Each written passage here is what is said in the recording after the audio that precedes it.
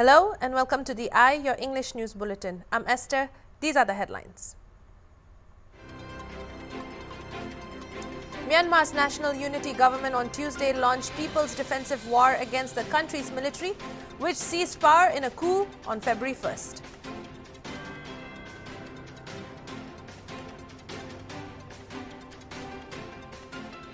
Eight samples from close contacts of a 12-year-old boy who died of the Nipah virus on Sunday tested negative on Tuesday, said Health Minister Veena George in Kozhikode.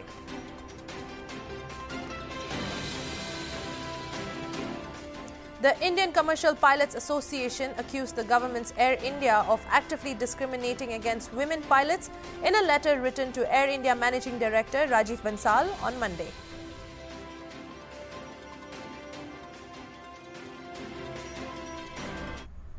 Now for the news in details. Myanmar's National Unity Government NUG on Tuesday launched People's Defensive War against the country's military, which seized power in a coup on February 1st. Asila, acting president of NUG formed by deposed legislators, made the announcement in a video posted on Facebook. With the responsibility to protect the life and properties of the people, the National Unity Government has launched a people's defensive war against the military junta, Al Jazeera quoted Lashi La as saying. As this is a public revolution, all the citizens within entire Myanmar revolt against the rule of the military terrorists led by Min Aung Hlaing in every corner of the country, he added. In his video message, Lashi La accused the military of committing war crimes and called on ethnic groups to immediately attack the military, Al Jazeera reported.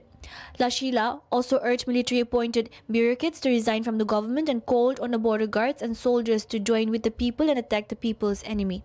From today onwards, all the civil servants under the military council, the NUG warns and forbids them from going to office, he said. The NUG will remove Min Aung Hlaing and uproot dictatorship from Myanmar for good and be able to establish a peaceful federal democratic union that fully safeguards equality and is long aspired by all the citizens, he said. According to NHK World Reports, Myanmar's military junta earlier designated the National Unity Government as a terrorist group. Eight samples from close contacts of a 12-year-old boy who died of the Nipah virus on Sunday tested negative on Tuesday, said Health Minister Veena George in Kozhikode, north of Kerala, adding that five more results are expected by the evening from the National Institute of Virology. The minister said the health department is observing all 251 contacts of the boy who died of the virus. 54 among them are in the high-risk category the government has also suspended the ongoing COVID-19 vaccination drive in Kozhikode and its outskirts in view of the new threat. Efforts are on to trace the source of infection and experts have recovered half-eaten rambutan fruits from the boy's house. They have also found a fruit bat habitat near their house, the minister said, adding a team from the National Institute of High Security Animal Diseases Laboratory from Bhopal will be in the city soon. Fruit bats are considered to be main carriers and reservoirs of the virus. The Indian Commercial Pilots Association accused the government's Air India of actively discriminating against women pilots in a letter written to Air India Managing Director Rajiv Bansal on Monday.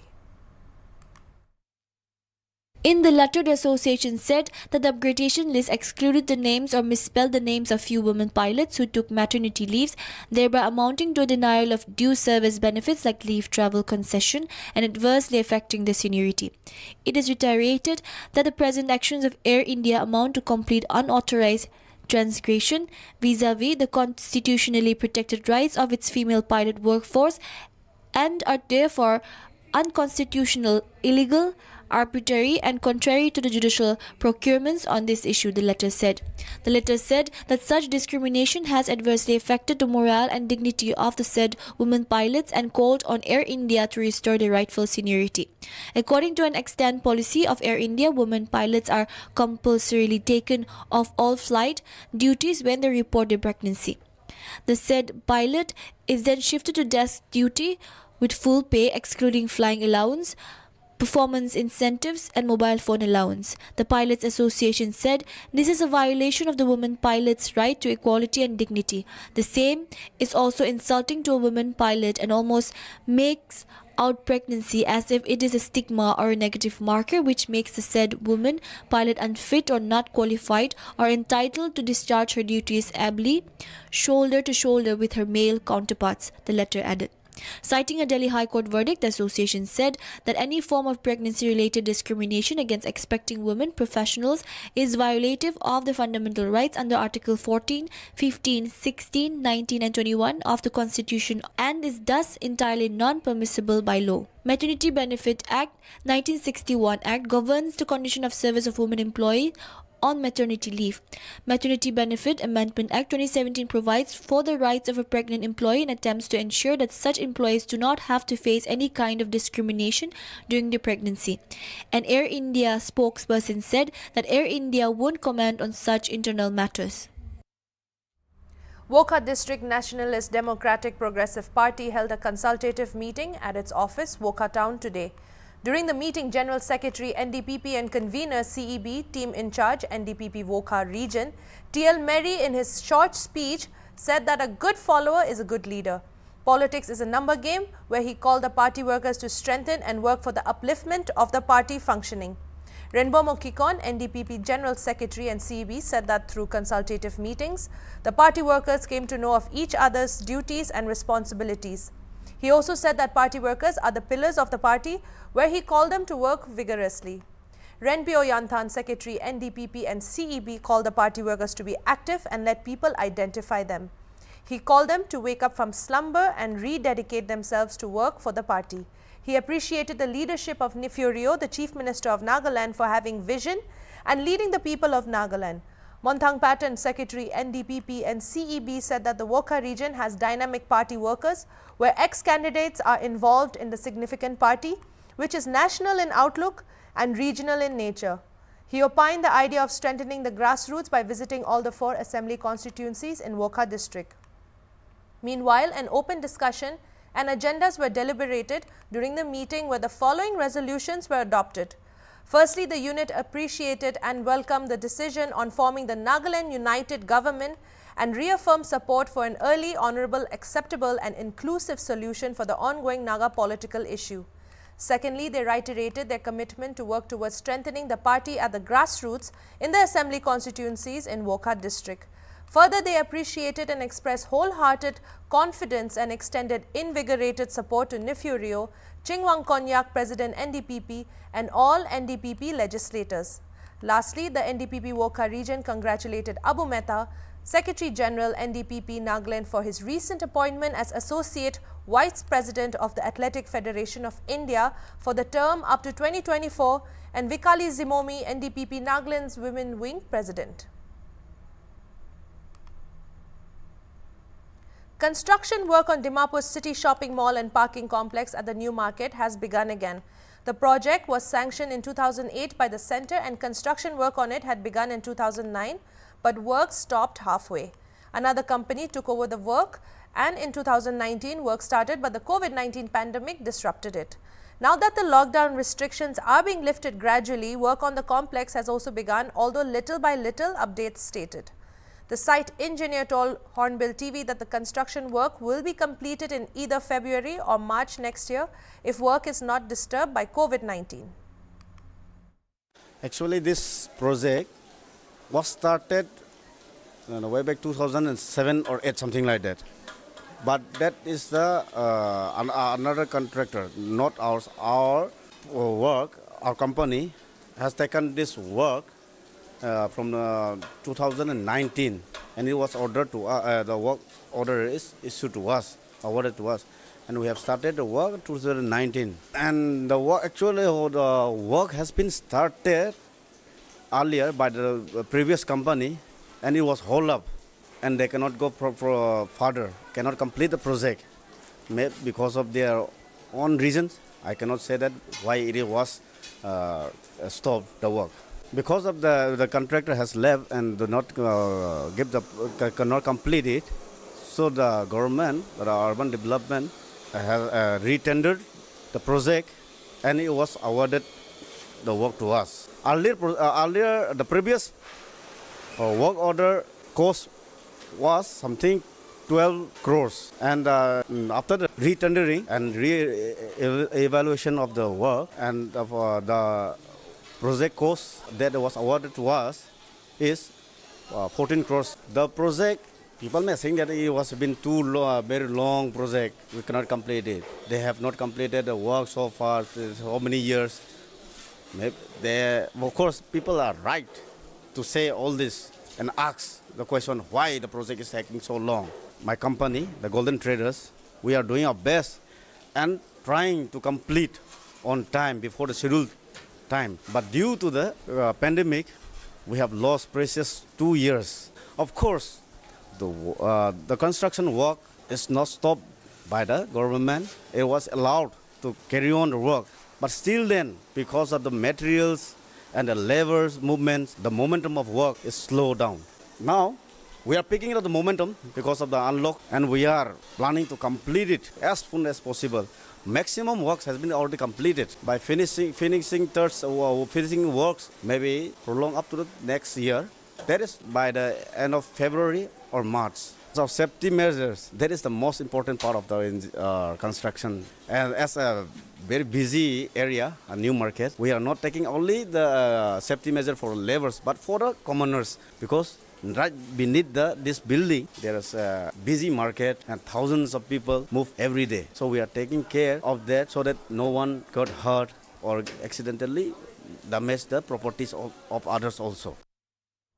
On August 29, Hornbill TV reported an accident where a youth was injured due to overspeeding on a bike at 7th Mile. Due to collision with the road divider, the injured biker was taken to hospital for further treatment during the course of which he succumbed to his injuries. In this connection, the Jotsoma Youth Organization and friends and families of the deceased have claimed that it was not due to overspeeding but due to a hit and run case. The police have informed that the person involved in the hit and run case has been arrested and further investigation is underway. When Hornbill TV tried to speak to police officials, they were not able to comment since the matter is still under investigation. Mobile internet services that were snapped following the demise of former Hurriyat leader Syed Ali Shah Gilani will now be open in Srinagar and Budgam districts of Jammu and Kashmir. At the time of the filing of this report, news agency said the services will be open by 7 pm on Tuesday. Zone Inspector General of Police Vijay Kumar confirmed the information and regretted the inconvenience caused to students in their studies. In a tweet, Kashmir Zone Police wrote that mobile internet will be open in Srinagar and Budgam today by 7 pm. Syed Ali Shah Gilani passed away on September 1st this year. On September 6th, the mobile internet services that were snapped following the demise of Gilani were scheduled to be restored in Kashmir Valley, bearing Srinagar and Budgam districts, said Kashmir Zone Inspector General of Police Vijay Kumar. Earlier on September 3rd, the IGP said that the situation in the valley has remained peaceful and under control. He also thanked the public for their cooperation and assured them that the internet services in the valley will be restored soon. Three-day assembly session has started in Mizoram from Tuesday, informed an official source.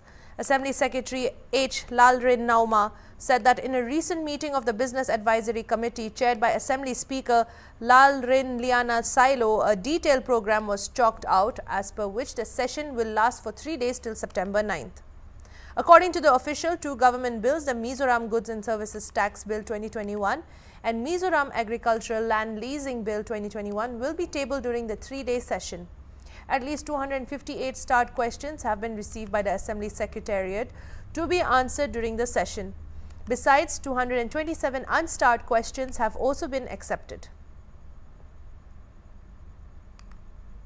Anil Jay Singh Ghanwat, one of the members of the three-member committee constituted by the Supreme Court on Farm Laws, has written a letter to the Chief Justice of India, Nuthalapati Venkata Ramana, in his personal capacity stating that the report of the Committee on Laws has not yet been released to the public or taken up by the court.